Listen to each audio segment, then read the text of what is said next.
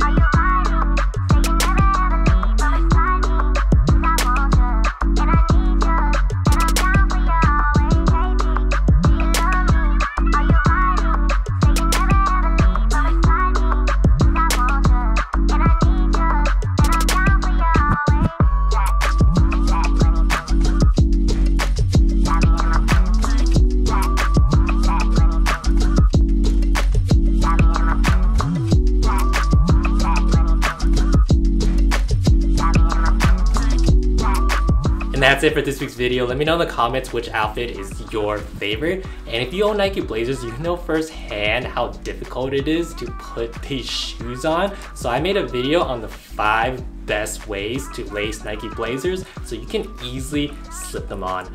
Click right here to check out that video. And as always, don't forget to subscribe. Thanks for watching. See you guys in the next one. Peace.